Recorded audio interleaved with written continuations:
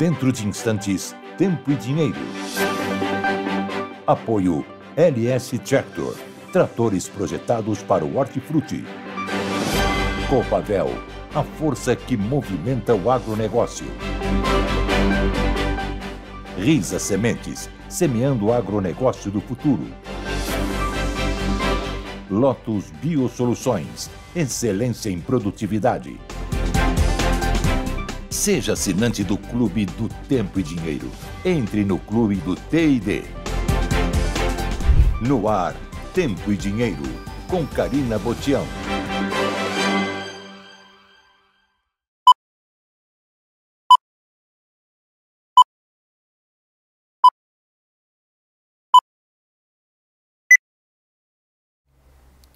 10 de julho, quarta-feira, muito boa tarde para você que acompanha mais essa edição do Tempo e Dinheiro que está só começando. Olha só, o Clima Tempo fala o seguinte: a chuva e o frio estão sobre o sul, São Paulo e Mato Grosso do Sul. Ar quente e seco mesmo só ainda na maior parte do centro-oeste, Minas e Espírito Santo, bem como no nordeste. Mas principalmente na região sul, o tempo continua frio, bastante úmido e a presença do, do ar frio de origem polar mantém as temperaturas bem baixas. O destaque do Globo, com chuva, São Paulo registra a tarde mais fria do ano. A gente sabe que São Paulo foi bastante frio ontem, a média máxima foi de 13 ponto graus, o que para a região né, é bastante frio. A menor marca foi de 11,5 graus no extremo sul da cidade. Daqui a pouquinho, na previsão do tempo, eu passo mais detalhes com relação às chuvas dos próximos dias também. Tem chuvas localizadas previstas também para o Nordeste e desse frio. No Sul, pelo menos até dia 18, vai continuar dessa forma.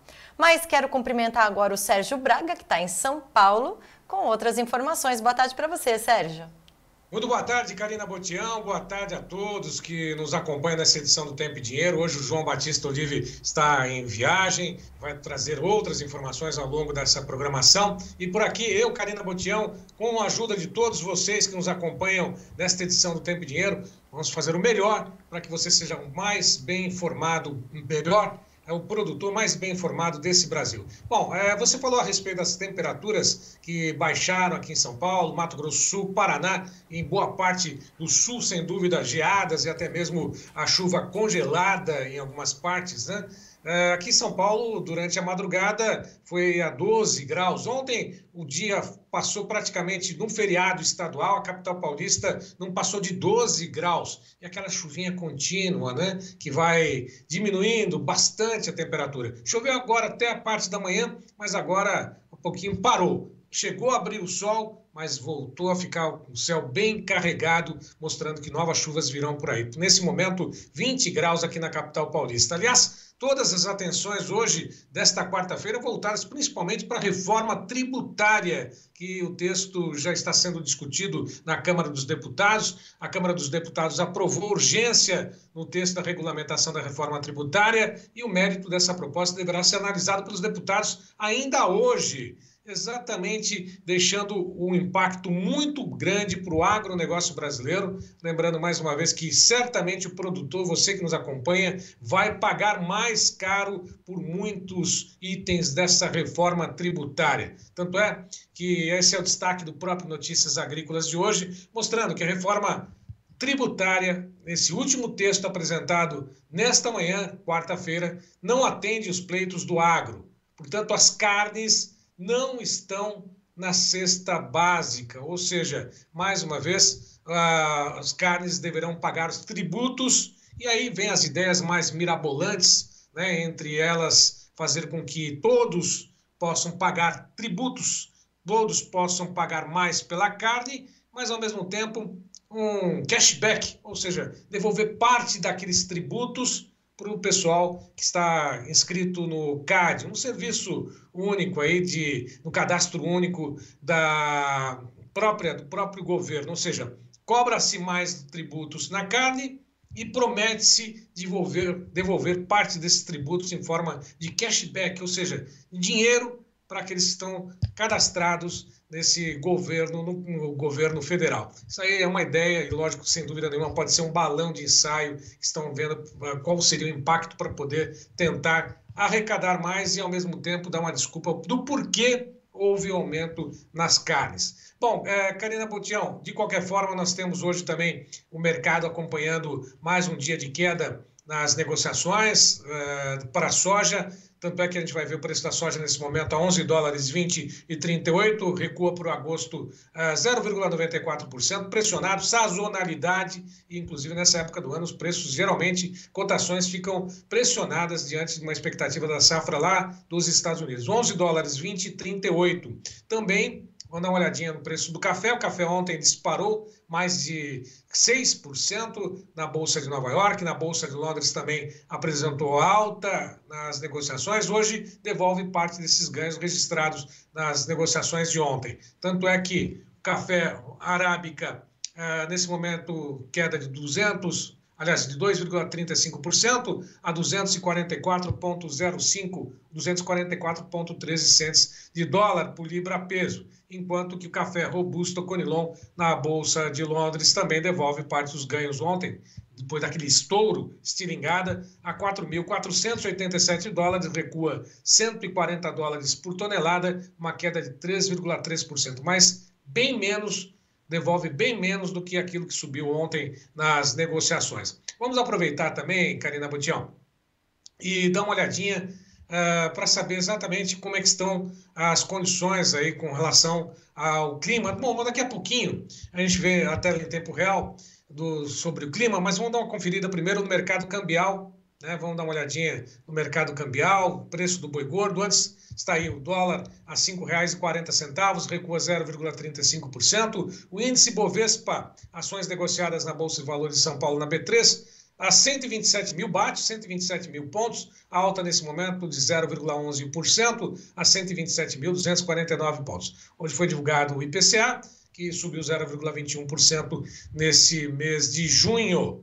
Bom, aproveitar para poder falar sobre o mercado do boi gordo, o mercado que subiu hoje em 11 praças pecuárias e no mercado lá da B3, vamos dar uma olhadinha nas cotações, hoje devolve parte dos ganhos de ontem, ou seja, subiu ontem, hoje recua, mas está aí o julho a 234,10, queda de 0,21, o agosto 237,95, recua 0,40%, o setembro a 240 reais, 0,50 de queda, outubro 245 reais e 35, 0,35 de queda, indicador ontem 228 reais, ficou estável. Bom, quatro praças das 11 que apresentaram variação positiva, São Paulo, Barretos, Aracatuba, prazo estável 216,50, sobe a referência em Campo Grande por boi comum a 216,50 na prazo, Três Lagoas 210, o quilo no oeste do Rio Grande do Sul a R$ 8,50. Daqui a pouquinho teremos mais informações sobre o mercado do boi gordo, inclusive com a participação do Rafael Grings, da Red Agro conosco comentando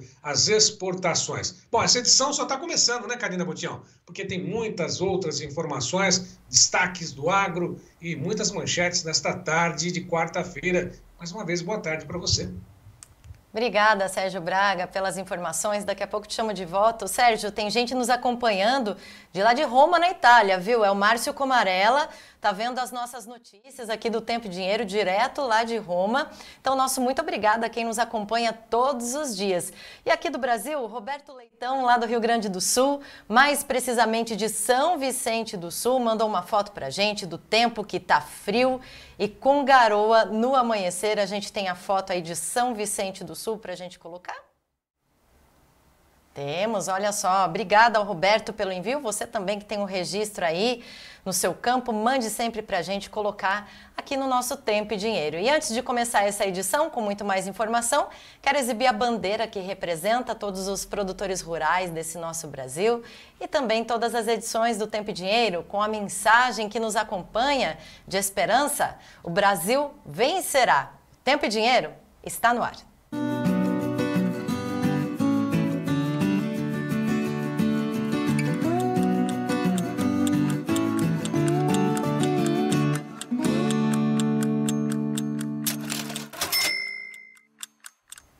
Sejam muito bem-vindos a mais uma edição do Tempo e Dinheiro. Hoje é quarta-feira, 10 de julho.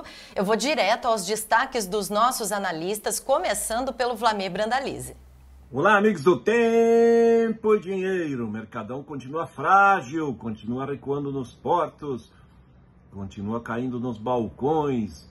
Dólar também recuando. Mercadão da semana é fraco, o cavalinho tá fugindo. Chicago já está na expectativa de que o USDA tenha, traga aumento da safra aí no relatório de sexta-feira. Tem relatório de USDA sexta-feira. Deve ter uma safra maior, mercado esperando uma safra crescendo nos Estados Unidos. Safra vai bem por lá e mercado segue pressionado. Mesmo com queda de dólar no Brasil, Chicago segue sem fôlego e aqui no Brasil mais queda, pode cair mais. Já já vamos comentar aí no Tempo Dinheiro. Esperamos vocês! E o destaque continua sendo a boa chuva no Mato Grosso Sul, Paraná e São Paulo e o frio que continua avançando. O Mato Grosso do Sul vai ter uma semana até o domingo frio. Detalhes da previsão. Bom, e no mercado do boi gordo, nós vimos agora há pouco, já tivemos uma prévia, as negociações na B3 seguem pressionadas, o mercado físico tem esboçado uma reação positiva, aí estão as negociações de hoje, ontem subiram em pleno feriado no estado de São Paulo, mas a Bolsa B3 funcionou normalmente, operou no, uh, com as negociações sem qualquer tipo de obstáculo em relação ao feriado estadual. Uh, com relação ao mercado físico, o que a gente tem observado, principalmente no estado do Mato Grosso, aqui de São Paulo, são escalas mais alongadas, o que permitem ou que uh, impedem uma alta mais coxuda ou uma alta mais uh, firme com relação ao mercado do boi gordo. De qualquer forma, estabilidade em São Paulo, 216,50, Campo Grande também 216,50, Três Lagoas 210, Oeste do Rio Grande do Sul 8,50. Bom, o mercado segue atento a todas essas informações e principalmente, como nós dissemos na abertura dessa edição, ao que acontece lá em Brasília. Mais uma vez, ah, o Brasil vai ter que pagar mais pela gastança com essa reforma tributária e o agro não está sendo poupado, principalmente o setor de carnes. Daqui a pouquinho a gente vai conversar sobre esses detalhes, porque a gente tem muitas outras informações nesta edição. Karina Botião. A gente vem com muitas informações, entrevistas também, já te chamo de volta. Mas agora quero dar destaque para o que foi manchete no agronegócio, nas manchetes do agro, do Notícias Agrícolas, o portal que é referência aqui para o Tempo e Dinheiro. Algodão cepeia. Altas são intensificadas nesse começo de julho. Tilápia. Preços recuam, mas poder de compra do produtor cresce. Alface. Baixas temperaturas pressionam cotações em São Paulo. A NEC eleva a previsão de exportação de milho no Brasil em julho. A exportação deve alcançar 4,09 milhões de toneladas, um incremento de quase 700 mil toneladas frente às 3,4 milhões previstas na semana passada. Mercado de trabalho. Número de pessoas trabalhando no agronegócio segue renovando o recorde.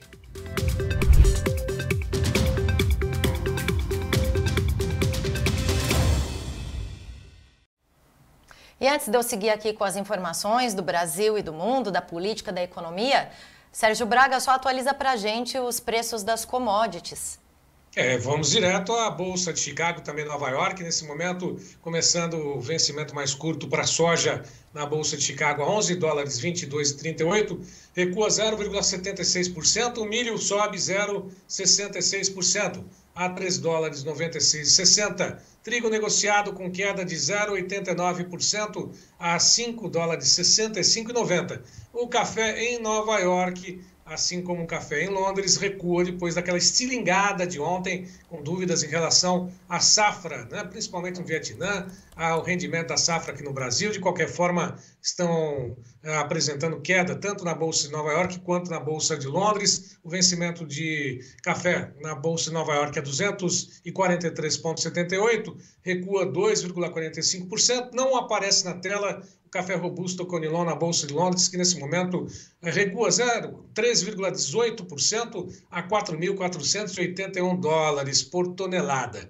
O açúcar sobe 2,24% a 20,06 Algodão, 71,16, alta de 0,86%. Petróleo, 82,36 dólares de, por barril, 82 dólares e 36, tem alta de 1,17%. E o ouro, a 2.386 dólares e 25, sobe 0,77%. Portanto, soja, trigo e café apresentam queda no mercado de commodities nesse momento, Karina Botião. Tá certo, Sérgio Braga, daqui a pouco te chamo de volta. Eu vou seguir aqui com as notícias, começando pelo nosso cenário internacional, manchete da CNN.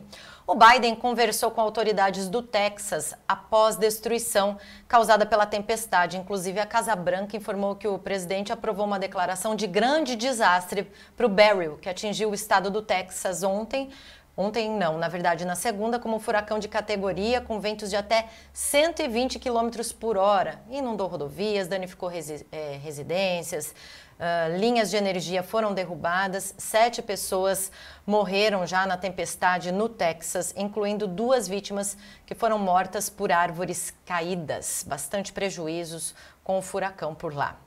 Agora, no Brasil, uma iniciativa contraria a área especializada da Corte que recomenda a rescisão de contratos. Olha só a manchete da Folha de São Paulo. O Tribunal de Contas da União tira caso de grupo dos irmãos Batista da pauta em meio à divergência entre Ministério e técnicos da Corte. O Ministério de Minas e Energia busca um aval do TCU para formalizar um acordo com a Âmbar da JIF, grupos dos irmãos Joesley e Wesley Batista e dono da JBS após a empresa deixar de concluir usinas no prazo previsto. Na área da educação, manchete da Folha também, a Câmara aprovou nova reforma do ensino médio com mais disciplinas tradicionais. Essa matéria agora vai seguir para sanção ou veto do presidente Lula. O início da implementação do novo modelo seria previsto já para o ano que vem, mas o formato desse processo ainda vai ser definido. Agora, com o apurado das reuniões sobre a regulamentação da reforma tributária, que o Sérgio já comentou aí na abertura do programa, e a gente vai falar muito sobre esse assunto hoje, o consenso informado pelos líderes da Câmara dos Deputados é que as carnes não serão inclusas entre os produtos da cesta básica com a isenção de impostos. Do Diário do Poder, o agro está insistindo por isenção de carnes e o governo não está permitindo não teve acordo com o Ministério da Fazenda para a desoneração das proteínas animais. O governo manteve o argumento de que haveria impacto de 0,53 ponto percentual na alíquota dos impostos, estimada em 26,5%. A Folha de São Paulo está dizendo o seguinte: que o novo relatório da reforma tributária mantém carnes fora da cesta básica e a oposição está preparando uma emenda ainda sobre a reforma da Folha de São Paulo, a comissão quer imposto do pecado sobre cerveja, refrigerante e ultraprocessados na reforma. O modelo cria uma taxa extra para os produtos e serviços considerados prejudiciais à saúde e ao meio ambiente. Nessa lista também estão as apostas esportivas. O relatório preliminar da reforma que foi apresentado na semana passada vai ser votado, começa a ser votado já nessa quarta-feira. E nós agora não teremos o editorial ao vivo com João Batista, mas ele deixou um recado para gente sobre a sua análise do dia com o tema Estamos à Frente e nós vamos acompanhar agora. Boa tarde, Karina. Boa tarde, amigos do Tempo e Dinheiro, a caminho de Brasília, do aeroporto, e utilizando todos os benefícios da comunicação, né? do avião, do aeroporto, da internet. Imagine nós vivermos sem o celular, sem o WhatsApp. Eu não consigo sinceramente.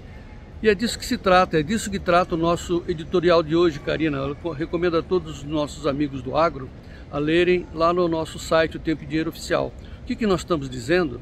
Que a tecnologia é fundamental, é importante, quase imprescindível.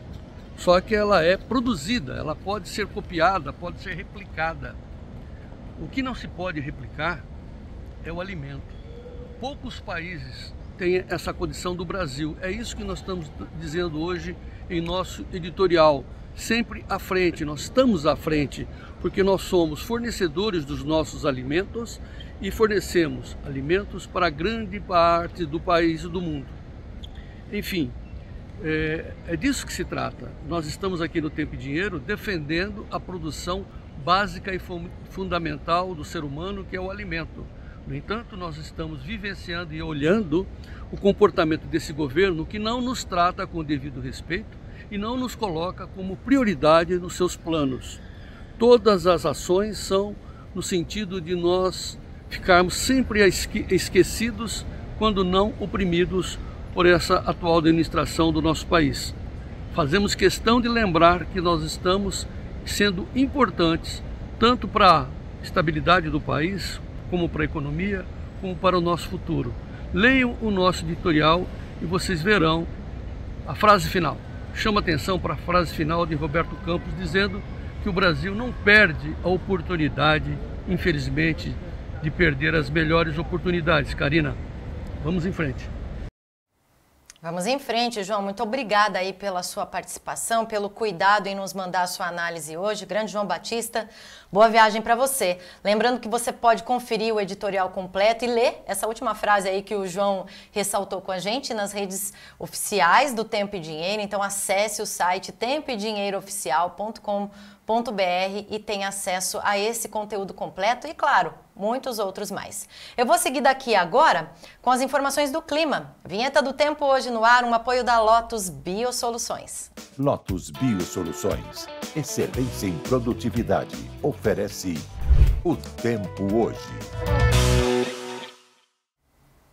Olha a manchete do Globo que está dizendo que o IMET alerta para chuvas intensas em São Paulo e onda de frio provoca geadas no sul. Como eu disse, o frio está sem trégua no Rio Grande do Sul, pelo menos até o dia 18 de julho. As temperaturas foram bem baixas, daqui a pouquinho a gente vai mostrar no mapa.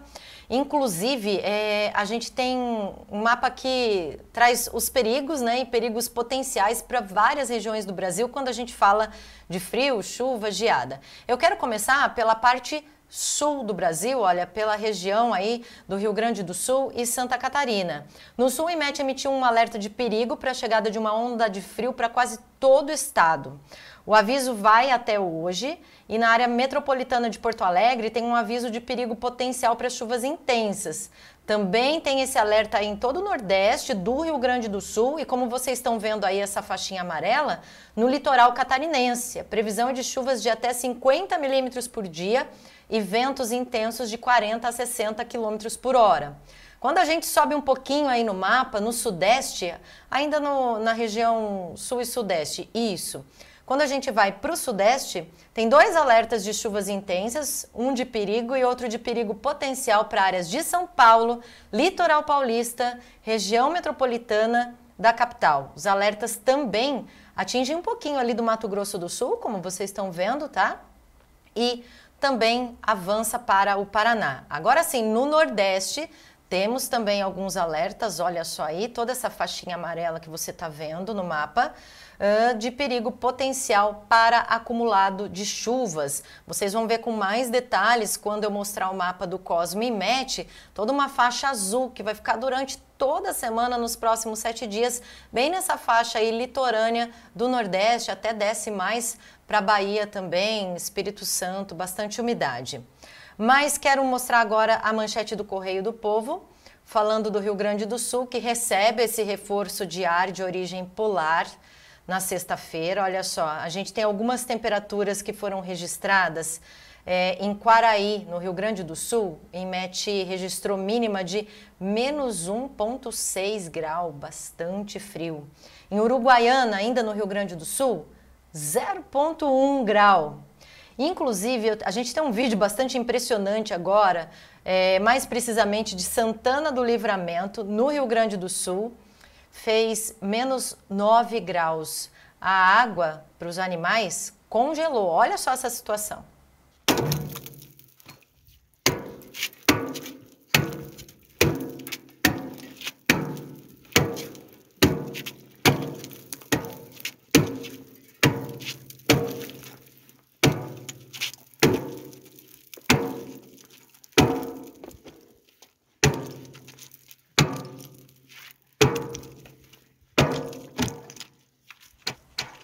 Não tem jeito. Uh, temos uma, o pluviômetro também de Cornélio Procópio, no norte do Paraná. Olha, choveu 42 milímetros por lá, essas chuvas que a gente estava prevendo no Paraná. Tá aí na cidade de Cornélio Procópio, choveu bem, 42 milímetros. E temos no mapa também a previsão no período de 9, desde ontem, até o próximo dia 23 de julho, com relação às chuvas nessa porção sul do país aí. A gente sabe que o marrom são chuvas abaixo da média. Vermelho, bem abaixo da média de chuva, tá, gente? Ao contrário do azul, que a gente sabe que é bem acima e tá pegando ali todo região centro-sul do Paraná e também toda a faixa litorânea, nordeste de Santa Catarina. Olha só esse trecho aí a oeste do Rio Grande do Sul, a gente tem chuvas abaixo da média, aliás, em todo o estado, mas é nesse período aí, tá? De, no, de 9, desde ontem, até 23 de julho. Mais chuvas para o Paraná, com certeza, e para Santa Catarina, ainda dentro desse período. Vamos saber o que o Notícias Agrícolas coloca como destaque do clima no seu portal hoje. IMET divulga boletim agroclimatológico para julho, agosto e setembro, com chuvas abaixo da média na maior parte do país. Está aí já uma outra previsão que está se estendendo até setembro, o que é comum também para esse período do ano, né? um período mais seco. Já divulgado então o boletim do IMET a respeito desse período, com chuvas abaixo da média na maior parte do país. Então, pelo menos até 23 de julho, a gente está vendo que alguma chuva tem ali para Santa Catarina e Paraná. Gleidson, em tempo real, vamos saber o que o NOAA está contando para a gente? Olha só, chuvas localizadas ali no norte, né, entre Pará e Amazonas, mas restante do Brasil nesse momento com muita nebulosidade. Pode até ocorrer chuvas ali, olha, no Rio Grande do Sul, também passando muita nebulosidade por Santa Catarina, Paraná, Estado de São Paulo, Minas, Espírito Santo, Rio de Janeiro, Mato Grosso do Sul.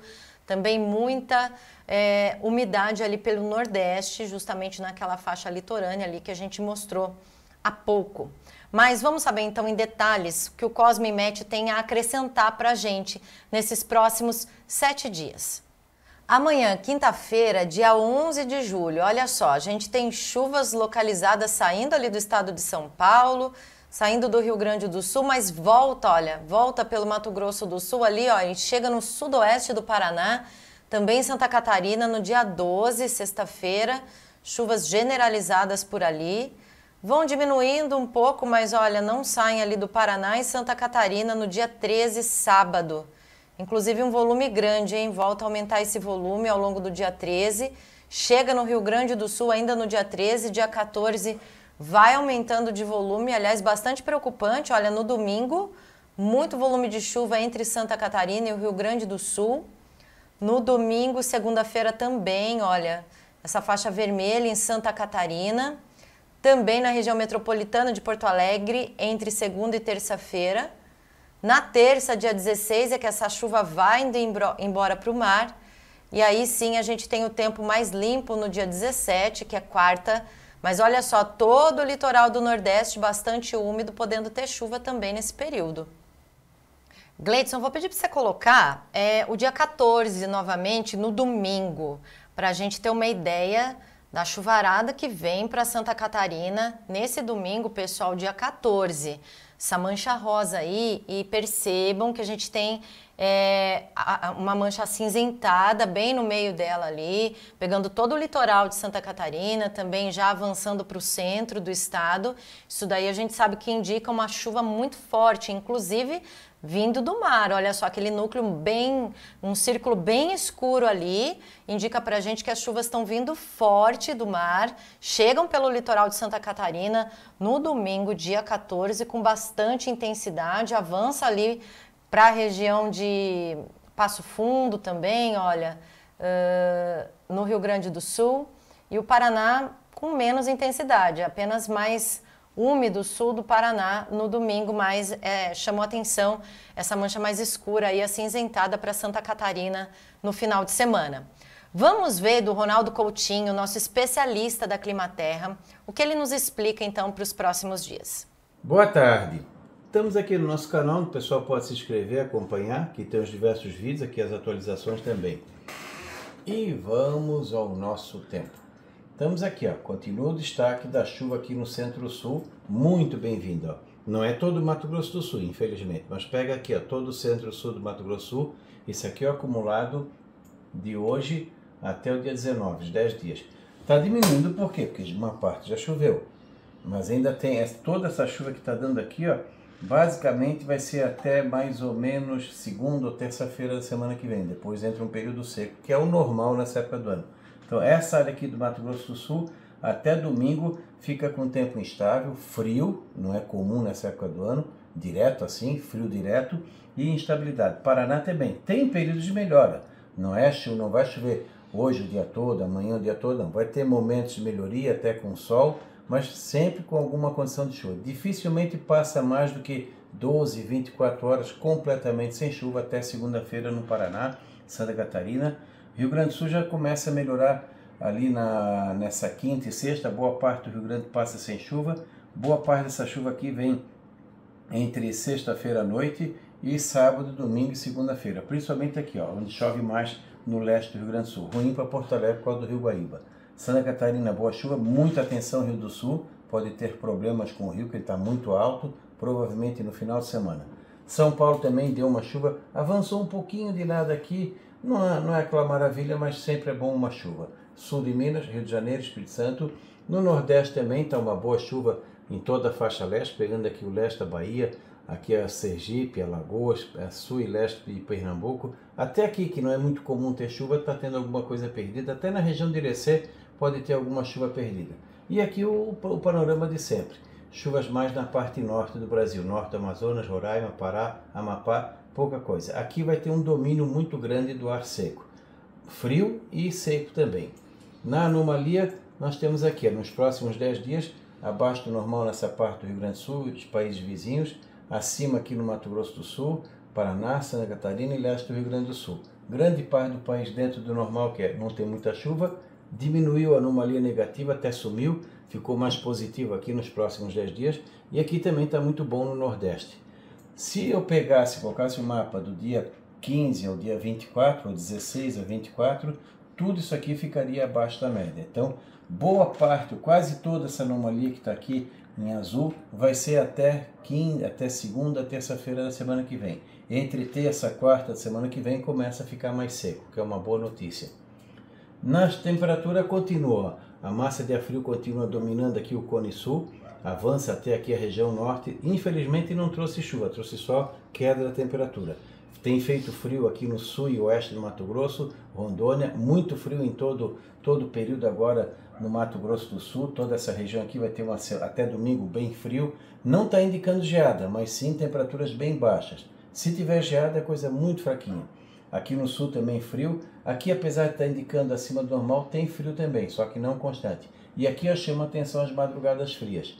Aqui dá o quê? De, de 15 a 24 volta a esquentar, principalmente 20, 24 fica mais quente. Aqui o ar frio vem para cá e tem madrugadas frias nessa parte do Brasil e aqui ainda continua um pouco frio. Vai ter outra massa de ar frio provavelmente depois do dia 24, 25.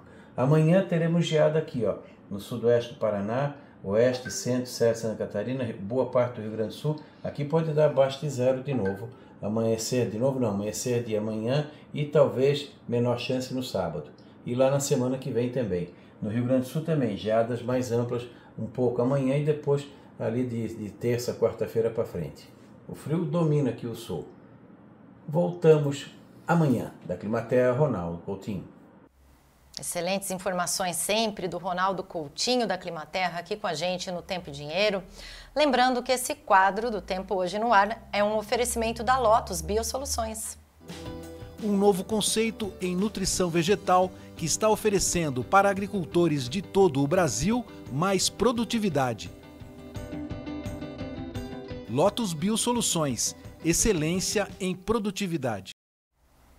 Olha, antes da gente chamar o intervalo, quero aproveitar e agradecer todo mundo que está aqui contribuindo no nosso chat, no YouTube, mandando bastante mensagem, pessoal nos acompanhando, né, das nossas plataformas e dizendo o seguinte, olha, o Luiz e a Cida Cabreira, lá de Marialva, Paraná, estão com três dias de chuva e frio, só que tem 42 dias que não chovia. A Fabiana Silveira está dizendo que está 7 graus lá em Piratini, no Rio Grande do Sul.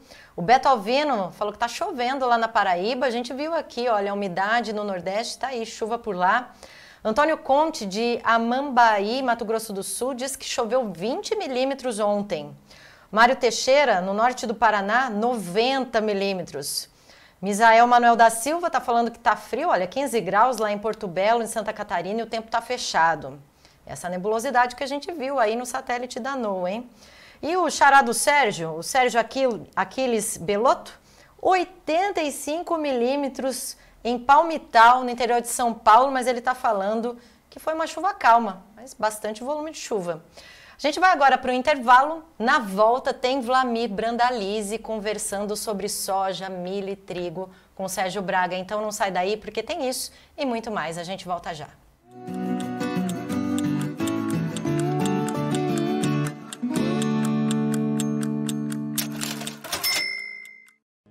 Eu comecei aqui nesse palco, mas não foi só com o som do violão não. Foi com o ronco do trator.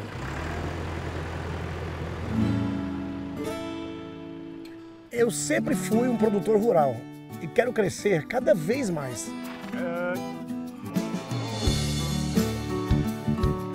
E a marca que eu escolhi para mim é a LS Tractor. Ela tem força, tecnologia e amor pelo campo. Maravilhoso, né? É show, é show demais. É tão show que eu pedi bis. LS Tractor, tecnologia sul-coreana, coração brasileiro. Esse é bruto, hein?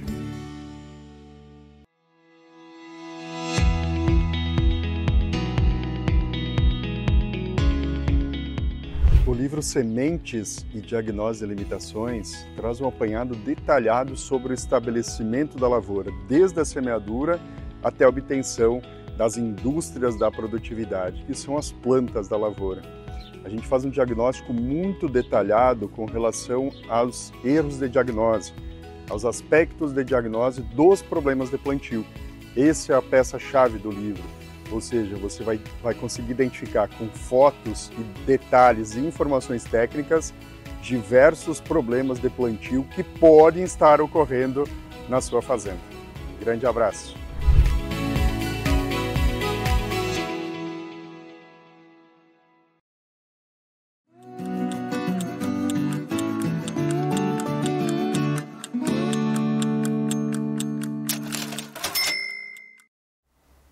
Volta aqui com Tempo e Dinheiro, vou chamar o Sérgio para ele atualizar para a gente as cotações da soja nessa quarta-feira. Sérgio.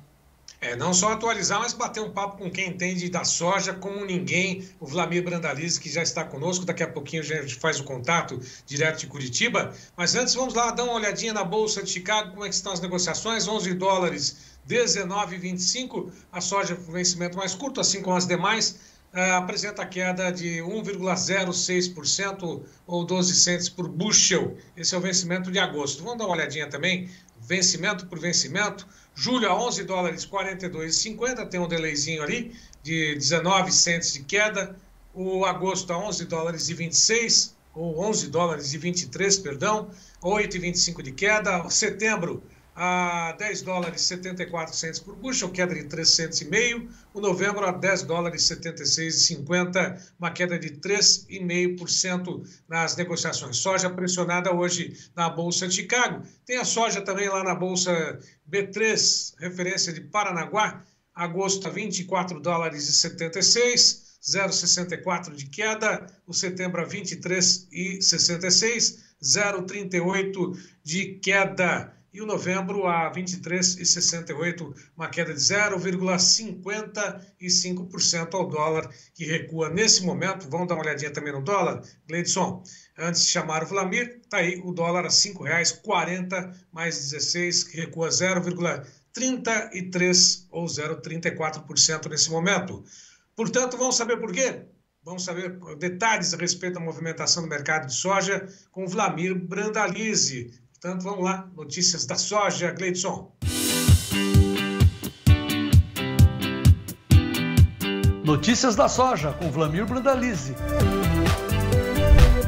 Apoio Copavel, um show de cooperativa.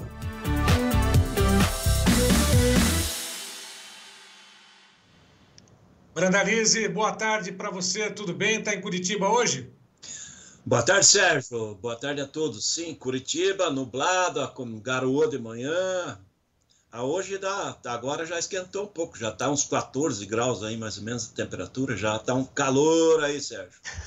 Esquentou bem, né? Bom, a temperatura aqui também já passou para os 20 graus depois dessa esse feriadão aqui no estado de São Paulo com temperaturas de 11 graus, 11 graus em média. Bom, Vlamir, e esse mercado de soja, hein? Preços mais altos ou cotações mais altas na Bolsa de Chicago já estão no retrovisor, ficaram para trás ou não? Olha, Sérgio, aparentemente sim, né? Porque os fatores que fazem a soja subir, que é a, aquela tendência de alta antes do feriadão americano, que completa uma semana, né? Já a independência, né? Ele ficou para trás, agora o que começa a pesar é a questão do, da safra americana, né, os fundamentos efetivos, né, clima e condições da safra. E hoje o mercado também está olhando já o relatório do USDA que vem na sexta-feira, de oferta e demanda. Então, os fatores que fazem a soja subir ou descer, nesse momento eles estão negativos, porque hoje nós tivemos vendas de soja americana para a China e pela manhã acabou dando um pequeno apoio, mas depois perdeu forças. O dólar em queda no Brasil seria fator positivo para a soja em, em Chicago, também não está tendo condição de melhorar as condições lá. E o que a gente está vendo é o investidor liquidando, buscando o tal fundo do poço, que aparentemente não foi batido ainda, né? À espera do USDA, né? Tem grande chance do USDA vir com um aumento de safra americana na sexta-feira. É, isso já é quase unânime a opinião entre os, os, analistas, os grandes investidores, porque as condições da safra americana estão muito boas e com isso o mercado acomodado, né? Então China está levando da mão para a boca, comprou um pouco nos Estados Unidos hoje, tem levado soja brasileira, mas aparentemente não temos fatores importantes que possam dar fôlego e reverter esse momento negativo aí, Sérgio. No médio prazo nós vamos andar para cima, sim, mas nesse curto prazo o mercado segue frágil, uma semana negativa, Sérgio. Bom, nós tivemos o feriado na semana passada, como você mesmo disse, né? o mercado ficou praticamente largado na quinta e na sexta-feira, meio período por lá, mas é um período, uma época em que tradicionalmente as cotações da soja seguem pressionadas, ou aquela questão, aquela questão voltada para o período de sazonalidade. Isso ainda bate ainda esse ano, está acontecendo isso. Agora, qual é o suporte também de preços lá para Chicago? Será que vai romper esses 11 e 10, 11 dólares por bushel ou não? Olha, Sérgio, com exceção do julho, aí todos os outros meses já estão abaixo de 11, né? Então, o mercado segue pressionado.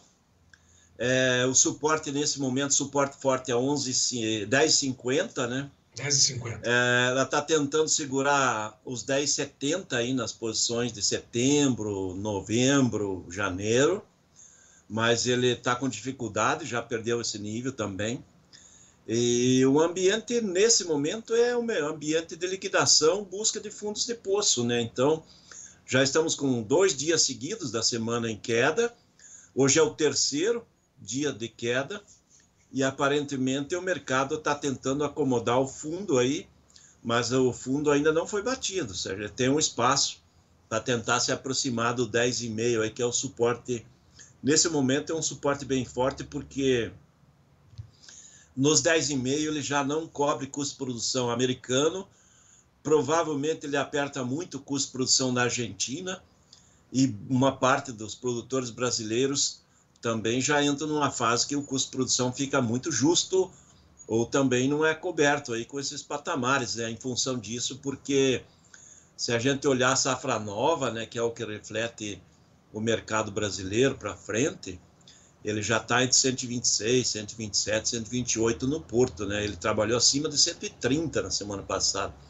Então, ele, isso quer dizer o quê? Quer dizer que nós já estamos abaixo de 110 reais a saca aí para a soja do Mato Grosso 2025, né, Sérgio? E o produtor teme que ande perto dos 100 reais ou abaixo de 100 reais, que está dentro do custo de produção deles lá, né? Bom, esses 10,5 aí que você fala, que é o fundo do poço, também é um suporte. Pode, na tua opinião, romper com esse relatório que vai ser divulgado na próxima sexta-feira? Ou o mercado já, como você mesmo disse, já precificou nas negociações de hoje esse relatório que vem por aí? Olha, Sérgio, eu não sei. Eu acredito que ainda tem possibilidade até quebrar esses 10,5 para baixo, porque existe muita, muito boato, né, em princípio, de que o USDA possa trazer safra aí até acima de 124 milhões de toneladas, 125, eh, nesse relatório. E se realmente ele vier perto de 125 milhões de toneladas, mesmo não sendo um número muito grande, né, porque é 4 milhões, 4 milhões e pouco a mais do que era a estimativa anterior, a nível global ele não é, não é tão, é 1% da safra mundial, vamos dizer assim, ele, mas ele psicologicamente, por algum momento, ele pode pressionar muito para baixo e, e romper, né, para o pessoal buscar aí realmente qual que é o fundo do poço. Fundo do poço Nesse ano ele vai ser batido mais cedo, né? Que normalmente fundo do poço acontece aí depois da colheita americana, lá por setembro, outubro, na hora das entregas dos contratos de novembro americanos. Esse ano parece-me que o mercado está mais nervoso, ele está antecipando essa pressão de baixa aí para números aí muito perto dos 10,5, pouco abaixo de 10,5, que deve ser o fundo do poço, porque muito abaixo do custo de produção, certamente vai refletir em desinteresse do produtor a nível global de produzir mais soja aí na nova safra. Isso para o mercado já complica, né, Sérgio? Porque a demanda continua crescente e a gente não pode parar de crescer a produção, senão nós vamos ter falta de soja a nível global aí já na em duas safras o mercado já fica muito ajustado e com, com um consumo grande de estoques. Então, tem esse ponto. E temos que levar em consideração fatores extra, né? Como o trigo, por exemplo. O trigo está no terceiro ano que a produção não atende a demanda. E esse ano provavelmente também. Então, também não tem muito trigo para atender a demanda de ração. E automaticamente isso vai refletir em demanda melhor de farelo, né? Farelo, Sim. semana passada, esteve muito interessante, né? Puxou. Essa semana ele está frágil, mas a tendência de médio e longo prazo é mercado de farelo um pouco mais favorável. Bom, mas o óleo que tem pressionado, inclusive, no complexo, né? Parece que o óleo tinha dado um suporte para para os grãos e agora também recua, né? É, o óleo semana passada foi o, a bola da vez, né? Porque daí China e Índia entraram no mercado, aí os dois gigantes da importação do óleo a nível global, e disputaram o mercado, né? Compraram forte, daí o óleo subiu forte aí na semana passada. E agora eles saíram do mercado, né? Veja quando ele entra forte e depois, ao mesmo tempo, quando sai, mercado desaba, né? Então, o óleo que deu a força semana passada, a semana não está influenciando em nada, né? Então, esse é o ponto importante. E o ponto-chave aí que o mercado está dando sinais de fraqueza é que mesmo com a presença da China comprando soja hoje nos Estados Unidos, ele não está dando suporte na cotação. As, as cotações continuam em queda. Mercado frágil aí, Sérgio. Bom, é, é uma coisa que chama a atenção, você falou que essa queda é, foi antecipada, geralmente acontece em setembro ou outubro. Se foi antecipada ou está é, mostrando que em setembro, outubro vai ter uma pressão maior ainda? Que, qual que é a lógica nesse sentido, Brandalice? Olha, depois de setembro, outubro em diante, já é safra nova americana, é mercado global mundial aí que o, o ano agrícola, é, pelo USDA, ele encerra no final de agosto, já é novo ano agrícola, né? o mercado vai ter que ajustar os valores, os volumes da produção. A safra do Brasil, pelo USDA, ainda vai ter que cortar um pouco, ela está muito otimista. Então, nós vamos ter correções aí nos, no, nos relatórios nos próximos meses.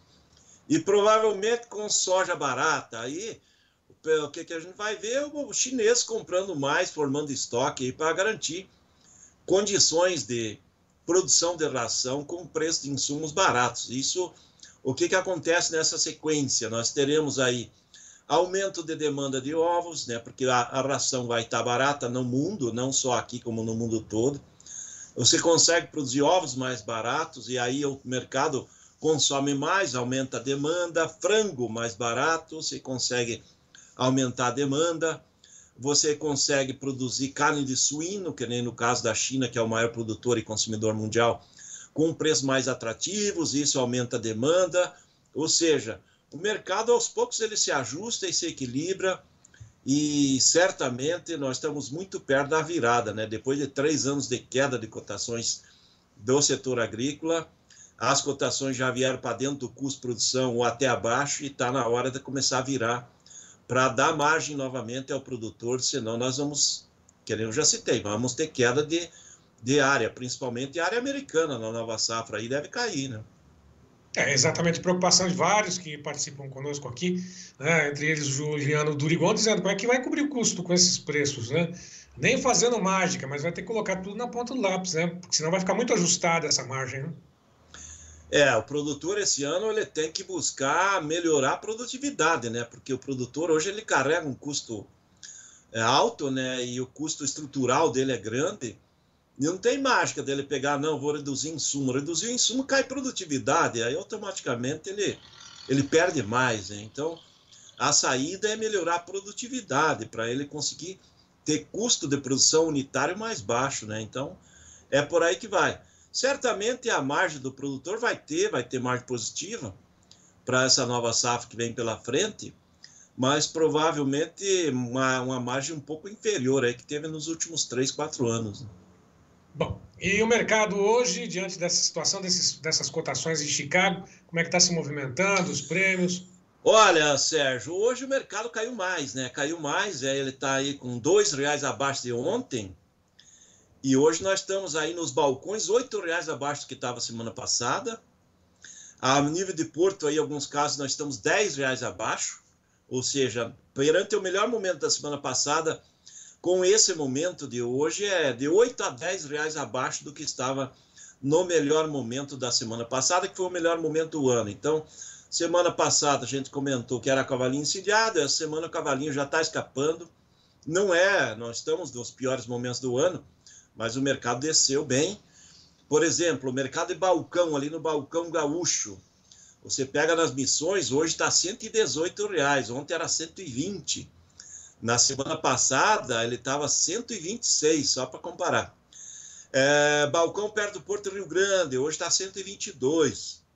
Semana passada ele pagou 130, né? O balcão do restante sul e sudeste começa com 115, 116 e vai até 125 aí na região sul do Paraná. Ou seja, ele também está na faixa de 8, 9 reais abaixo do melhor momento da semana passada. Então, mercado de balcão recuando, seguindo a lógica: dólar mais barato, eh, Chicago em queda, formadores importantes de cotações da soja em queda. Então, mercado de balcão de, eh, não está, não vamos dizer que está no pior momento, não está, mas ele, ele caiu bastante, né? Vamos ao mercado dos lotes. Olha os lotes aí, Sérgio. Mercado de lotes. Porto de Rio Grande, hoje, ele paga 137 no agosto e 138, 138,50 no setembro. R$ reais abaixo do que estava semana passada. O Porto de Paranaguá, Paranaguá no lote, ele está pagando 136 no julho, 137 no agosto e 138 no setembro. R$ reais abaixo da semana passada. Então o mercado está mostrando fragilidade. E olha a safra nova. A safra nova vai de 127 no abril a 128 no março 2025. Esses níveis também estão aí de 5 a 6 reais abaixo do que estavam na semana passada.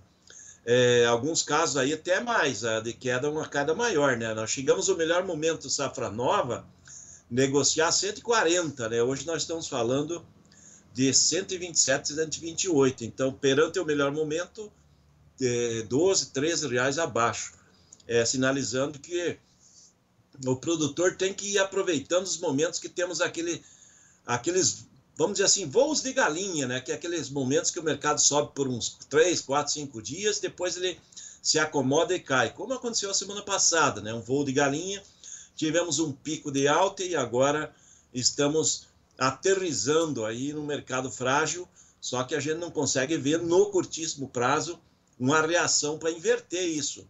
O mercado ainda continua para com, com um leve viés de baixa aí, né, Sérgio? Bom, e é exatamente essa grande preocupação do produtor que acompanha todo essas, esse vai e vem, né? Mais para baixo do que para cima nessas últimas sessões, né? Agora, só observar o que vem pela frente, já de olho em 2025, né?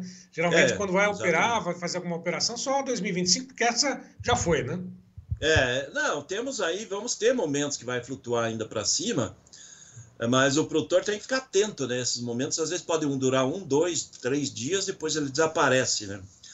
É, o que a gente está vendo aí é que está sustentando estabilidade é os prêmios, né? Os prêmios do curto aí vão pegar o prêmio agosto. É, tem comprador até 45 pontos acima, o vendedor está 65 acima hoje.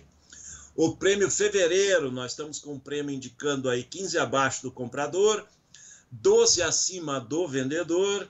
O prêmio março 25, o comprador paga 35 abaixo, o vendedor quer 20 negativos. O abril, uh, comprador quer pagar 40 negativos, o vendedor fala em 25 negativos.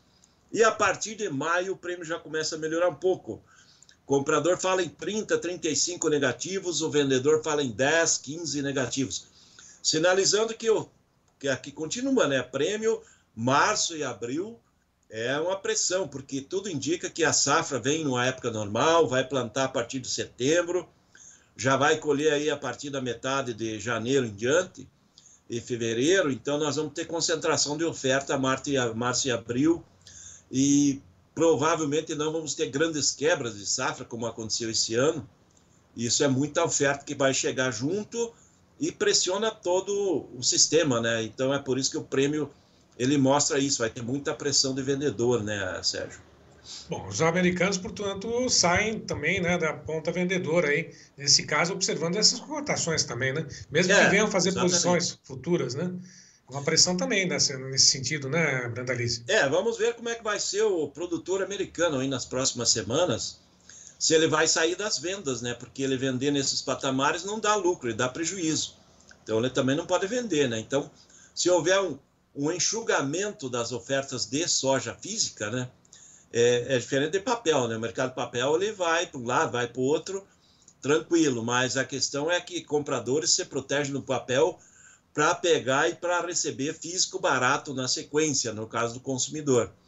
E vendedores fazem posição de papel para aproveitar e entregar o físico no futuro com valor, ah, me, ah, valor favorável. Né? Então, é por isso que temos a Bolsa, né, que negocia 90 e muitos por cento do que é negociado na bolsa é papel. E o mínimo é, é, físico, mas sem o físico não tem papel. Então, é por isso que nós vamos ver como é que vai ser o produtor americano. Se ele segurar a venda de físico, automaticamente nós vamos chegar no fundo do poço e o mercado começa a reverter as posições. Bom, Arthur Manson, Manson, Disse que o custo de soja com essas cotações vai ficar muito elevado, né? Dá para ter uma ideia de quantas sacas aí, média? É lógico que isso é um cálculo muito específico, né? Mas quantas sacas aí por hectare, em média, de custo de produção dessa safra uh, Olha, Sérgio, os pacotes que estavam saindo nos bons momentos variavam aí de 21 a 25 sacas, 26. Depois avançaram para 25 a 28. Hoje tem muitos locais que já o pacote tecnológico de insumo já está acima de 30 sacas, né, Sérgio? Porque o, os defensivos, fertilizantes, eles não seguem a mesma lógica da alta ou da queda da, da, da commodity em si, né? Eles seguem as lógicas próprias de oferta, de demanda. E então a fase baixista de fertilizantes e de defensivos passou, né? Então o produtor acaba tendo que pagar um pouco mais agora, quem vai deixando para a última hora, né? Cada semana que vai passando, acaba ficando um pouco mais caro, mas dá para dizer que grande parte dos insumos já rodou, né? Então, o produtor já, boa parte já está preparado para a nova safra e, e de agora para frente ele tem que aproveitar os momentos que der pico para ir fazendo alguma posição, né? Muita gente aproveitou esse ano para fazer os barter, né, Sérgio, os trocas, que daí você está tá, tá travado em cima do que você sabe que vai pagar tantas sacas de soja, daí você corre menor risco, né? Então, e se você tiver uma alta produtividade, você tem uma margem boa de lucratividade quando se gasta pouco, né? Por exemplo, um produtor que fez uma troca de insumos aí e gastou 24 sacas é, por hectare. Se ele colher 90, 80, 90 sacos por hectare, pegando os outros custos todos, que vai elevar lá para 50 sacas por hectare, de custo, vamos dizer assim, com tecnologia, maquinário, mão de obra, todo o seu custo, ele ainda acaba tendo uma margem boa. O grande problema é aquele produtor que colhe 50, 60 sacas por hectare, que ele vai estar tá bem ajustado, né? Colhendo 50, 60 sacas, ele vai estar tá muito dentro do custo de produção global aí, que é a lavoura brasileira da soja, né? Se a gente avaliar ela geral, ela vai ficar aí na casa dos 50 sacos ou até mais, né? Para essa nova temporada, né? Ou seja, esse produtor que tiver uma, uma produção, colher 50 sacas, vai ficar praticamente e vai empatar ou até mesmo ter prejuízo, né? É, exatamente. Bom, antes de falar sobre o milho, alguma informação final, alguma surpresa? Você já comentou, na sexta-feira tem alguma surpresa para esse relatório ou não? Não, Sérgio, eu acredito que o USDA vai vir aí com a safra acima de 121 milhões de toneladas. A área plantada foi 34,8 milhões de hectares e um pouco abaixo do que foi é, havia uma expectativa de 35, mas eu acredito que não podemos nos assustar se o USDA trouxer 124 milhões de toneladas, 125 para essa nova safra aí mas acima de 125 milhões de toneladas, ele acaba quebrando os 10,5 para baixo. Tem esse, esse pequeno problema aí que ainda nós podemos enfrentar aí nessa, nesse restante de semana. Né? O relatório vem na sexta-feira, à uma da tarde, no horário brasileiro, né? e, e certamente ainda vai impactar no, nas negociações da sexta-feira. Né? Tá certo. Bom, vamos aproveitar. Amanhã você volta com outras informações sobre o mercado de soja, com uh, conosco aqui no Tempo e Dinheiro.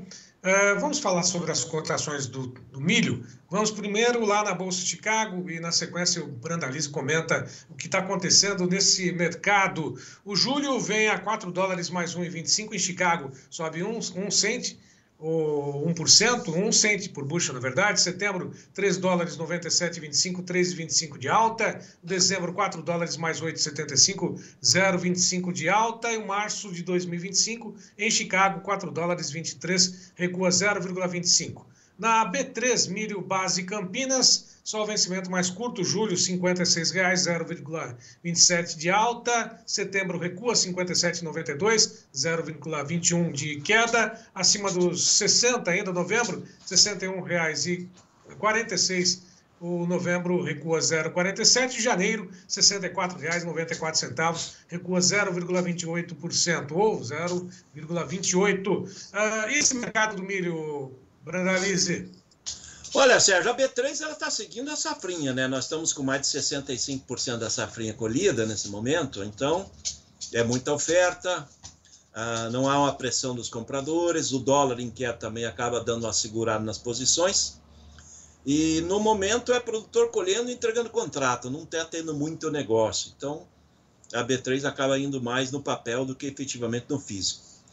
Com relação a Chicago, Chicago ele está tentando formar a base de 4 dólares, aí dá para ver que somente o setembro está abaixo, porque o custo de produção americano está acima de 4,40. Então, se a gente pegar o dezembro, 4,07. Então, o produtor já está tendo um prejuízo de mais de 10% aí na base de custo dele no milho. E o, o milho, ah, ele está muito mais barato do que está a soja e automaticamente, aparentemente, o milho já está no fundo do poço e certamente o produtor americano não vai vender nesses patamares aí, carregar um prejuízo grande no, nessa temporada. Então, aparentemente o milho ficou barato demais, ele está num momento interessante para os principais compradores. Há uma expectativa da entrada dos importadores para comprar e formar estoque com milho barato. E estamos esperando aí aí talvez depois do relatório da semana que vem comece a dar uma pequena virada no mercado do milho. Mas também há uma expectativa que o USDA traga aí, no caso do milho, aí uma safra aí perto dos 380 milhões de toneladas, talvez até um pouco acima na sexta-feira, porque a safra americana de milho, a exemplo da soja, vai muito bem. O clima está muito favorável por lá, Sérgio. E por enquanto nenhum problema para eles. Bom, e antes de falar sobre preços, né, mercado hoje, uma divulgação, aliás, a ANEC, que é a Associação Nacional aí dos Exportadores de Cereais, divulgou hoje mesmo a expectativa de, de, de exportação de milho nesse mês de julho, que deve alcançar 4 milhões e 90 mil toneladas, um incremento de 700 mil toneladas uh, diante daqueles 3 milhões e 400 mil toneladas previstas na, na, na, semana passada. Ou seja, incrementando a exportação de milho do Brasil no mês de julho, elevando essas exportações. A demanda continua firme, os preços, por sua vez, deveriam ser mais é, coxudos, por dizer assim, melhores ou não? Não, é, na realidade, Sérgio, o que está acontecendo é o embarque de contratos antigos, né? Muitos uhum. É, esses embarques estão sendo realizados com, com milho que o produtor fez contratos antes do plantio. Então agora ele está colhendo, está entregando e os embarques estão estão acontecendo, né, Sérgio? Então a ANEC está projetando esses 4 milhões, arredondando 4, 4 milhões e 100 mil toneladas, é, que é o ritmo normal né, de crescimento de embarque a partir do, do mês de julho, né? Agosto deve ser mais forte. E então, estamos eu, e, pela primeira semana do embarque da própria CSEX, CSEX mostrou é, cento e, é, 223 mil toneladas embarcadas na primeira semana. É, é vai ter que embargar muito aí para chegar nesses 4 milhões. Eu acho que talvez não chegue nesse volume projetado pela ANEC aí no fim do mês. Vamos ver o que vai acontecer. Se chegar nesse volume, já é um bom sinal, né? Que vai ficando menos milho, a safra brasileira é menor, vamos ter menos milho para exportar esse ano. E a partir de agosto, quando a colheita for indo para o final, o mercado já pode começar a dar uma recuperada nas cotações, né, Sérgio? Bom, e o mercado hoje, como é que ficou? Como é que Olha, tá o mercado está frágil. Aí hoje o mercado de Porto no milho ele mostra 56,5, 57 aí no Porto Paranaguá, 57 no Porto São Francisco, Santa Catarina, 58 no agosto aí em Santos. Ele começa a ter cotações melhores a partir de outubro, que daí outubro em diante as cotações estão na casa dos 60 reais ou acima. Então é sinal de que mais para o final do ano o milho vai valer mais. Isso é no porto, isso no mercado interno, como também a gente vê na B3, né? A B3 também mostra aí o milho curto com quase 10 reais abaixo do que é o milho da virada do ano. Então, mercado do milho, no momento, ainda é fundo de poço, vai recuperar depois de agosto, setembro, quando terminar a colheita. Bom, a colheita está rápida, né? Está avançando e bem, né? Sim, sim. Hoje, mais ou menos 65%, um pouco mais. Mato Grosso já acima de 75%. E, e vai evoluir rapidamente, né? Porque o, o clima seco que está nos estados centrais favorece a colheita. E ela está mais lenta essa semana aqui no Paraná e sul do Mato Grosso do Sul por causa das chuvas que entraram aí e está limitando a colheita, né? Mas na sequência nós vamos ver a colheita ganhando ritmo, sim. Bom, em algumas regiões, é, inclusive relatadas aqui pelo pessoal que nos acompanha, o rendimento até muito abaixo daquilo que era previsto, né? Condições climáticas pesando firme, né? Sim, esse ano a safra é, men é menor em produtividade. As lavouras que estão colheita agora, nessa semana, e nas próximas, certamente vão mostrar produtividades ainda menores, né? Porque foram lavouras que praticamente não tiveram chuvas nas últimas seis, oito semanas, então é perda no potencial produtivo. E aí vai confirmar aí que é uma safra, safrinha, né? 85 milhões de toneladas ao redor disso. E o ano passado foi 106, né? Então a queda de mais de 20 milhões de toneladas em relação ao ano passado. Né? Tá certo. Mais alguma informação sobre o milho, Brandalize? É, mercado do milho é calmaria, né? A produtora agora no milho tem que pescar, né? Deixar o tempo passar. Tá certo. Bom, vamos aproveitar então, vamos para o trigo. Antes, uma manchete né, do Correio do Povo, o Leidson pode colocar inclusive essa manchete, de que os produtores pedem ao governo mais 10 dias no calendário do trigo no Rio Grande do Sul. O senador Irineu Hort eh, pediu nesta terça-feira ao Ministério da Agricultura um prazo adicional de 10 dias para o plantio de trigo no Rio Grande do Sul, no contexto das regras de zoneamento agrícola de risco climático. Ainda complementando, essa iniciativa eh, busca reduzir os danos causados pelas enchentes do mês de maio e a continuidade das chuvas nas áreas a serem implementadas e garantir também a elegibilidade ao seguro rural. Olha só quanto problema enfrenta o produtor de trigo no Rio Grande do Sul, principalmente depois daquele temporal, daquela tragédia, além de ter problemas com a perda da produção, das áreas praticamente, das propriedades, ainda tem problemas com relação ao seguro rural. E o trigo vem por aí, não, Brandalize? Olha, Sérgio, a questão do trigo é porque agora entrou muita chuva no Rio Grande do Sul, está está limitando o plantio, né? O produtor precisa amar um prazo para plantar, para poder plantar num, numa condição boa de, de, de, solo, né? Se ele plantar no solo encharcado, também ele já arranca com problema na safra. Isso, pro, certamente, o governo teria que aceitar, né? Esse alongamento do período de plantio para alongar também a questão do, do seguro, né? Para o produtor aí não, não trabalhar com risco novamente, né? Bom, e esse mercado de trigo, como é que está se comportando? Como é que tem sido movimentado ou não? Os preços estão adequados? Aliás, antes de falar sobre isso, vamos às cotações do trigo, né? Vamos acompanhar o que acontece no mercado de Chicago, nesse momento com trigo. Gleidson, trigo na Bolsa de Chicago, tem as cotações a gente pode passar, inclusive, para o Brandalizo comentar. Tá aí, pressionadas também. O setembro a 5 dólares e 64, queda de 8 cents. O dezembro, 5 dólares e 87 e 25, 8 e 25 de queda. E o março a 6 dólares mais 7, 8,5 de queda para o trigo na Bolsa de Chicago. Esse mercado está pressionado, essas cotações estão dentro daquilo que era previsto para o período do ano ou não? Olha, Sérgio, ele não está refletindo muito a questão do problema que a, que a Rússia está mostrando, que é o clima seco na Rússia e na Ucrânia, lá no leste europeu em geral. É, ele está mostrando agora que ele está se preparando para o USDA que vem na sexta-feira também, e em função do avanço da colheita americana, né? Está colhendo o trigo de primavera ali no, na, nas grandes planícies americanas, e nesse momento o avanço da colheita ele serve para pressionar um pouco o mercado e e acomodar as cotações, né? Então, o pessoal acaba liquidando o trigo também para ver até onde que pode cair, mas o trigo a médio e longo prazo ele não tem espaço de baixa, porque trigo também é, é um grão que a oferta, a produção mundial desse ano é menor que a demanda e, e certamente à frente aí a Rússia vai segurar a exportação e vai dar fôlego positivo aí para o nosso amigo trigo. Ele tende a trabalhar acima dos 6 dólares o bushel, que é as posições que a gente vê aí para frente, as médias e longas. Né?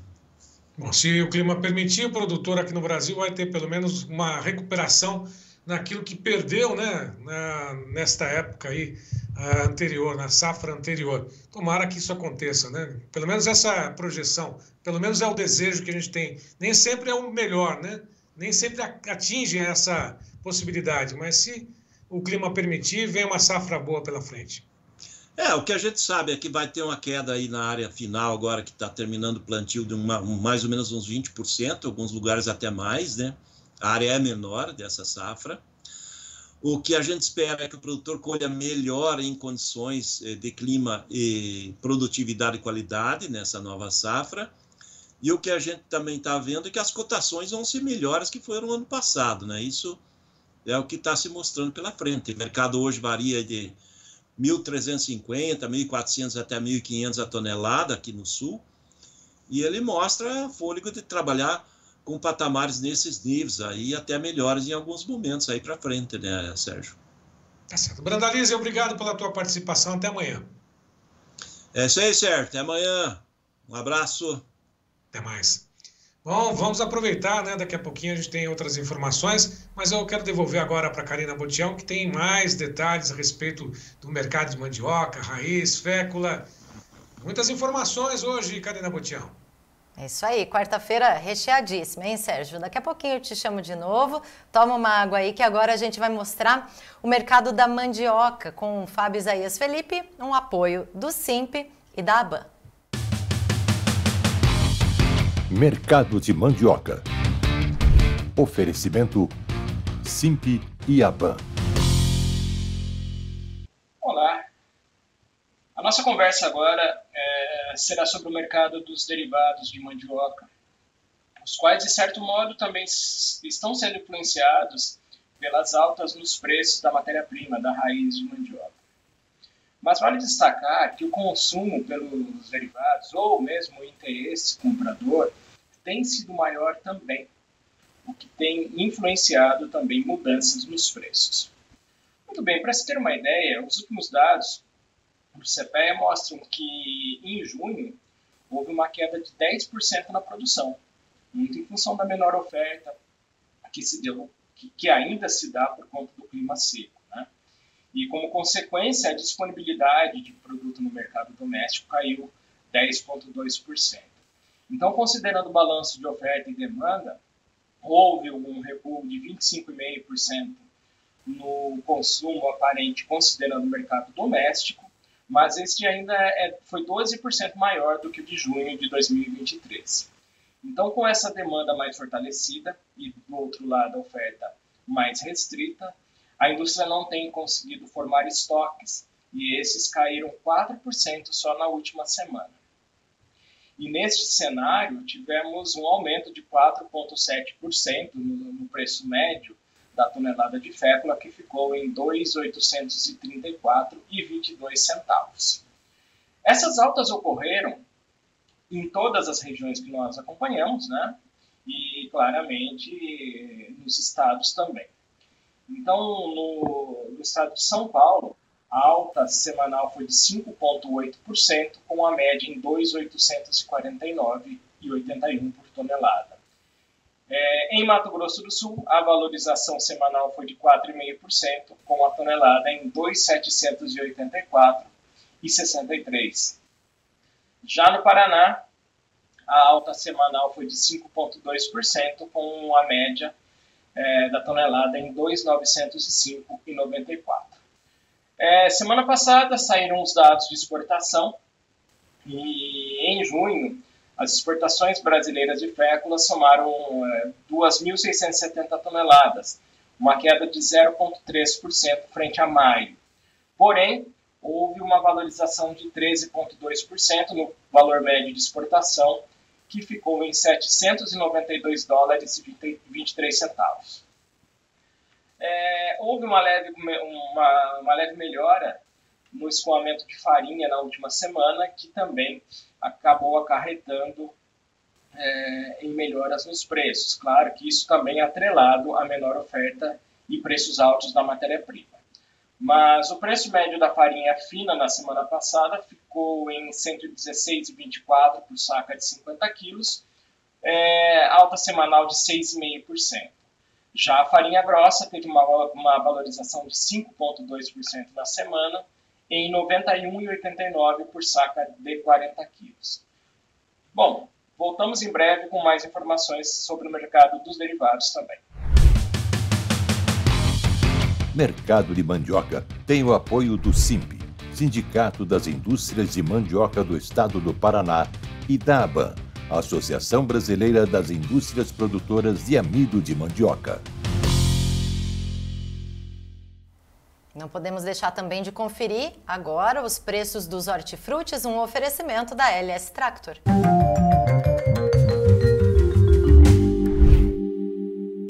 Oferecimento LS Tractor. Tratores projetados para o hortifruti. Vamos então ao levantamento dos preços, sempre com base no CPE Exalc USP. A gente começa as nossas cotações de hoje com o preço do leite, o litro no Paraná, R$ 2,79 com 0,2. A batata Asterix especial no atacado, saco com 25 quilos em São Paulo, R$ 156,67. Tomate italiano 3A, o beneficiador, caixa com 20 quilos no Rio de Janeiro, R$ 65. Ovo branco, caixa com 30 dúzias em Santa Maria de Jetibá, no Espírito Santo, R$ 136,40. E por fim, a banana, banana nanica ao produtor, o quilo, no Vale do Ribeira, R$ 1,98. Volto com o Sérgio Braga agora para a gente atualizar as cotações do café, Sérgio.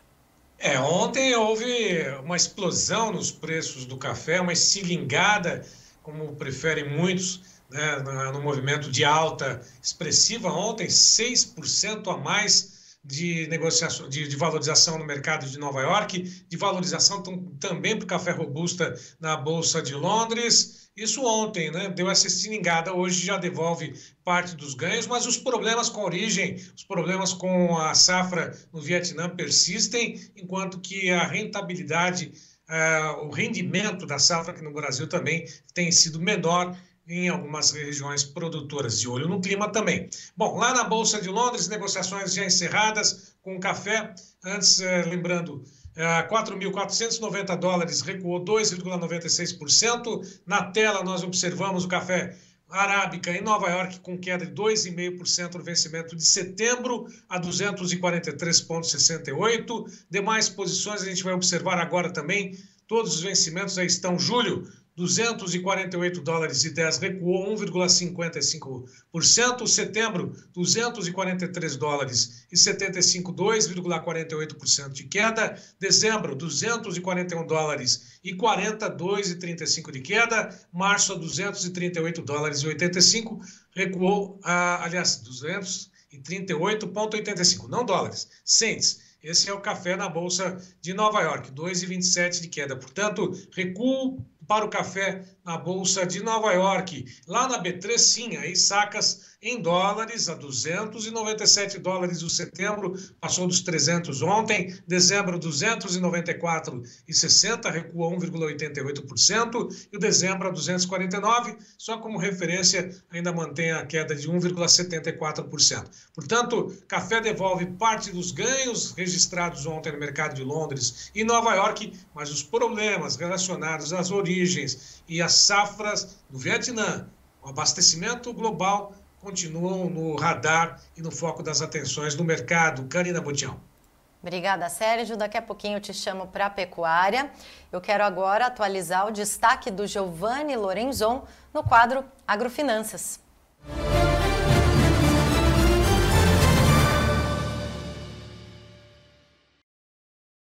A queda do dólar, que pode se confirmar mais uma vez nesta quarta-feira, ainda está longe de oferecer perigo para os frigoríficos exportadores listados na B3. O analista da Agrifato, Iago Travagini, por exemplo, diz que numa faixa aí de o dólar a 5,40 não oferece nenhum perigo para as margens dos frigoríficos. Porque as exportações até agora foram contratadas naturalmente há tempos atrás, quando o dólar começou certamente a escalada. Né? E se a divisa continuar perdendo força abaixo dos 5,40, pode resultar em algum problema para as margens do frigorífico só a partir de agosto ou setembro. Mas vale dizer o seguinte: em primeiro lugar, os preços continuam pressionados nas exportações, mesmo os recordes em volumes estabelecidos no primeiro semestre. Outra coisa, a queda do dólar também vai fazer com que os chineses pressionem novamente os preços. Terceiro, não podemos esquecer que já há uma certa melhora nos preços do boi. E daí que isso também pode começar a resultar em pouco aperto na margem do frigorífico na originação. Daí que podemos começar a olhar o segundo semestre com outros olhos para as ações dos frigoríficos, que vieram muito bem no primeiro semestre, embora ontem, por exemplo, já tiveram uma queda em bloco juntamente com o dólar e principalmente ainda o Minerva Beef, que é o frigorífico mais exposto ao mercado externo, em torno de 70% de suas receitas. De todo modo, vamos aos números, só para recordar do que foi o mercado exportador no primeiro semestre. Um recorde de 1,29 milhão de toneladas, aumento de 27,3%, e receita de 5,69 bilhões de dólares, alta de 17%. Mas essa alta vem em cima dos volumes. Né? A primeira semana também de julho começou firme, começou firme, só que os preços também já em queda novamente, né? de em torno de 0,67% de queda nos preços na primeira semana de julho contra a primeira semana de julho de 2023. Né? E isso, lembrando mais uma vez, em junho, apesar dos recordes que este, em qual se concluiu o semestre, a carne natura, que é a carne mais valorizada, é aquela carne que sai mais cara para o, o frigorífico, teve uma desvalorização no mercado externo de mais de 11%, na verdade, quase 12%, ainda que tenha havido alta de mais de 9% em volume. O segundo semestre está aberto, mas a situação pode não ser a mesma do ponto de vista do que foi o primeiro semestre para os frigoríficos. Agrofinanças volta amanhã. Muito obrigado.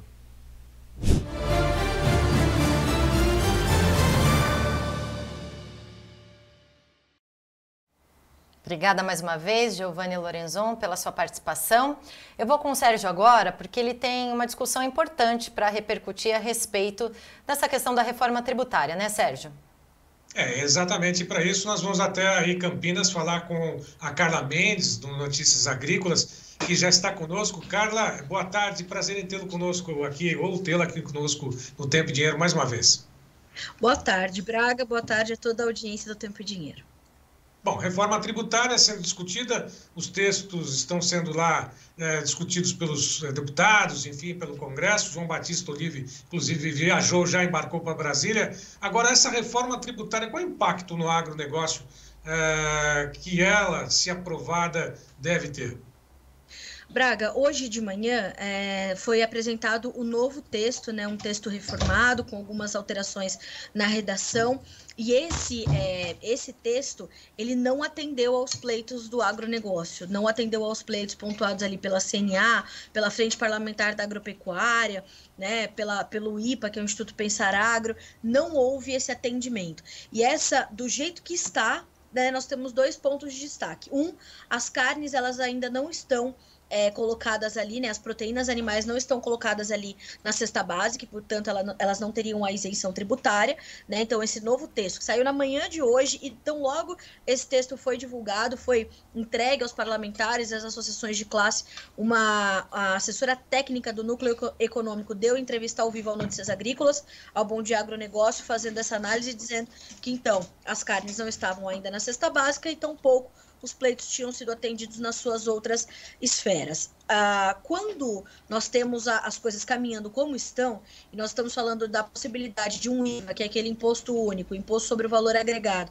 de 26,5%, que é, só perde para o da Hungria, que é de 29%, quando a gente olha para o mundo, a gente está falando de uma possibilidade da carga tributária brasileira, do agronegócio brasileiro, triplicar, Sérgio Braga. A gente está falando de passar de 3,8% dos impostos que já são pagos hoje, que seriam substituídos pelo IVA, para algo como 10,6%. Então, três vezes mais, mais do que três vezes é, uma, uma elevação. Então, sim, a carga tributária do agronegócio pode aumentar caso a reforma corra como está. O plenário da Câmara dos Deputados já começou ali a discussão na tarde de hoje, a leitura, enfim, dos textos, porque uh, já foi a, o texto base, né, Sérgio? Ela já, ele já foi é, fechado. Então, o que vai vir de mudança agora vem via emenda ou via PEC, ou via, perdão, via destaque. Então, de duas uma. Para carnes especificamente, o eh, advogado tributarista, o doutor Eduardo Berbigier, especialista no assunto, conhecedor do caso, e que está acompanhando isso muito de perto para o agronegócio, ele faz uma pontuação muito importante, Sérgio. É, quando Arthur Lira afirma que ah, as carnes nunca fizeram parte da cesta básica das, né, das famílias, enfim, ele diz, o doutor Eduardo Berbigier, que o presidente da Câmara usou uma meia-verdade, porque na maior parte dos estados brasileiros, as carnes estão sim na cesta básica e elas têm, onde há essa, essa inclusão, em uma boa parte desses estados, há a suspensão do pagamento de PIS/COFINS. Onde não há o pagamento do PIS/COFINS, nós temos 7% de tributação. Caso haja, portanto, né, a manutenção das carnes fora da cesta básica, essa tributação ou sai de zero ou sai de 7%, para 10,6%, ou seja, aumento da carga tributária, tributação na comida, comida mais cara para o brasileiro, principalmente para as populações, das parcelas mais pobres da população, inevitavelmente. Bom, isso é lógico se não for entrar na, na, na cesta básica essa questão da discussão das carnes, né? já há uma alternativa, inclusive para poder finalizar contigo, proposta do ministro Haddad de devolver em cashback, forma de cashback, aquele valor ou percentual do tributo cobrado a mais para quem está no CAD, né? no Cadastro Único aí do governo federal. Isso é um balão de ensaio? Será verdade ou realmente quer brincar com todo mundo, Calinha?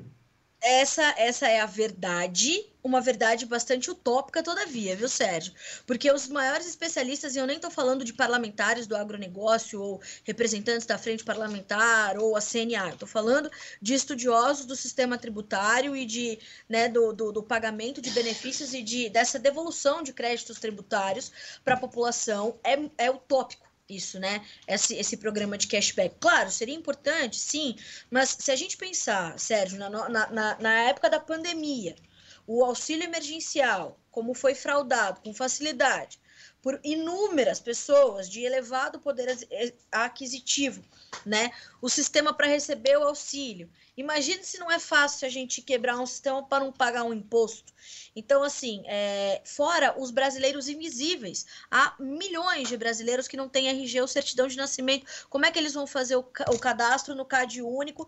E quantas pessoas estão acima da linha de corte e abaixo da linha de corte para se definir quem paga ou quem não paga imposto, Sérgio, sendo tão pobres quantos? Quanto uns dos outros. A distância é muito pequena, a linha é muito tênue e ela é ineficiente. Então, esse sistema do cashback para o Brasil não vai funcionar e os especialistas afirmam que é uma verdadeira utopia da cabeça do governo federal, em especial do ministro da Fazenda, o senhor Fernando Haddad.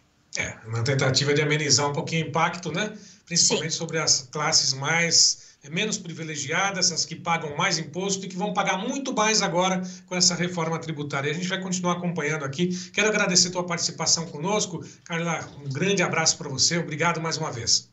Imagina, meu amigo, eu que agradeço. Um grande abraço para você, para toda a nossa audiência, precisando da sua chamada. Muito obrigado.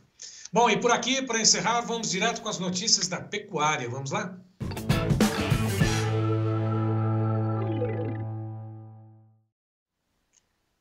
Uma quarta-feira em que o mercado futuro reage de uma forma negativa, devolve parte dos ganhos de ontem, ou seja, subiu ontem um pouquinho, hoje já devolve, mas no mercado físico segue firme, com praças apresentando variação positiva, outras estabilidade e alta em 11 das praças pesquisadas pela Scott Consultoria entre 32. Mas antes vamos conferir o mercado na B3, negociações nesse momento, por lá apontam julho 233,65, agosto 237,80, setembro 240 reais e 20, outubro 245 reais e 20 20 centavos. Repetindo, outubro, 245,20 recua. Tanto julho, agosto, setembro, outubro. Indicador ontem, 228 reais, ficou estável. As praças pesquisadas pela Scott, há oito praças, aí estão São Paulo, Barretos, Araçatuba, 216,50 boi comum a prazo. Já descontado, a mesma, conta, a mesma cotação do boi a prazo em Campo Grande, 216,50. Olha só, Três Lagoas, 210 reais por arroba prazo. No Rio Grande do Sul, Oeste, o quilo a prazo 8,50.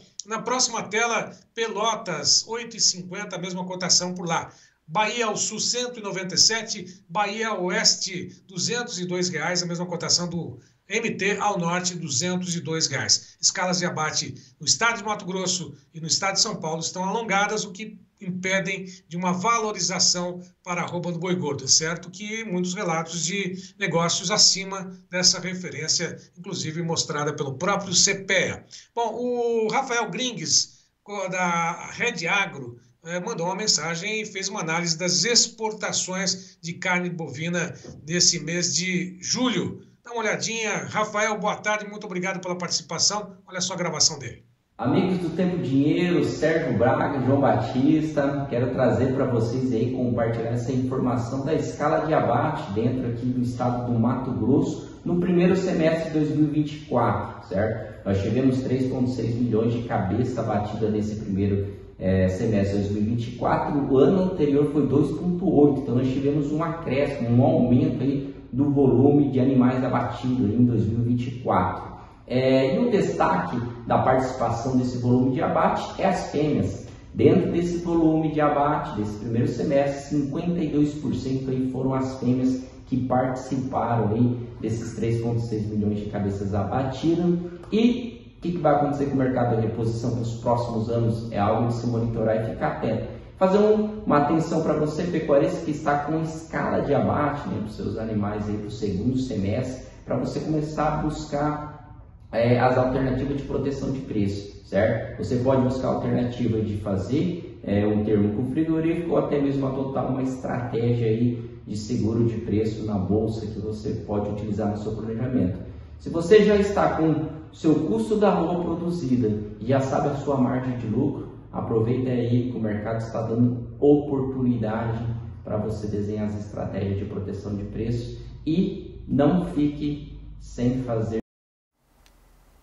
Aí, informação do Rafael Bringues conosco, portanto, da Rede Agro, Karina Botião, são essas informações do mercado de pecuária e eu acredito que as informações resumidas né, do que acontece no mercado como um todo nesta edição do Tempo e Dinheiro, não é isso?